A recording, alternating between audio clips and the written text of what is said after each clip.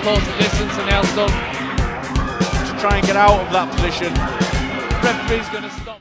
Um, yeah, I trained hard for the last fight, so um, fairly pleased with how it went.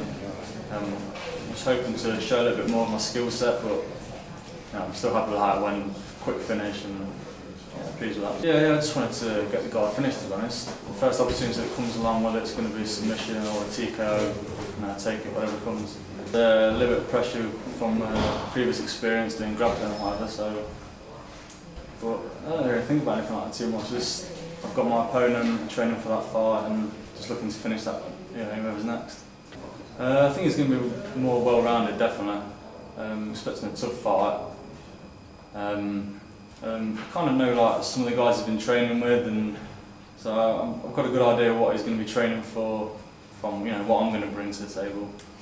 But it's just about whatever I'm going to do. You know, I'm going to impose my game and, and do it to him. Uh, yeah, he'll definitely be working his ground game.